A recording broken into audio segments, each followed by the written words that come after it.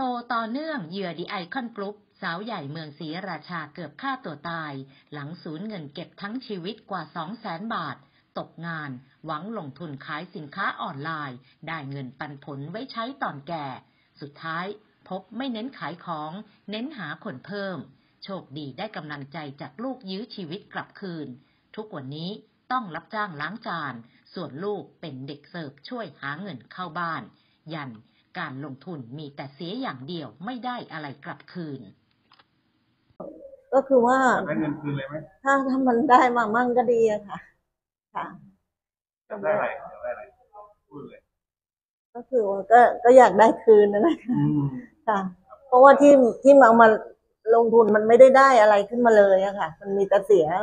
เข้าไปมีแต่เสียอย่างเดียว เพราะว่าเขาบอกว่า คือเขาไม่เน้นขายไม่ช่วยเราขายอะไรเลย เขาบอกว่า ให้เข้ามาเรียนเพื่อเอานักเรียน เพราะเราไปเอานักเรียนเนี่ย เราก็เสียเงินอีกคือ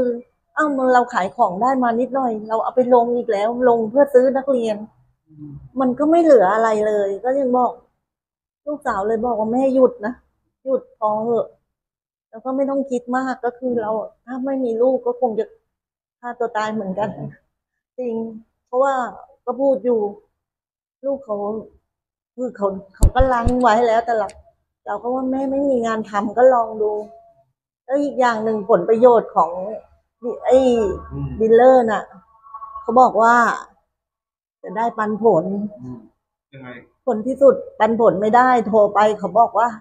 บริษัทขายของไม่ได้เขาพูดอย่างเงี้ย พูดได้ไงใช่ไหมอะเขาบอกว่า บริษัทไม่มีคนไม่มีคนซื้อของในบริษัท เพราะว่าคนเอาของตัวเองไปขายหมดเขาพูดให้ฟังแบบนี้นะอืมเราก็บอกอ๋อก็เห็นบอกว่าได้เป็นพันพันๆล้านทำไมอืมไอ้เป็นพันพันๆกล่อง เพราะว่าดีลเลอร์ไอ้โกโก้เนี่ยจะช่วยกันขายจะได้กล่องละห้าบาทอืมต้องทุกคือขายได้เท่าไหร่ก็คือสิ้นปี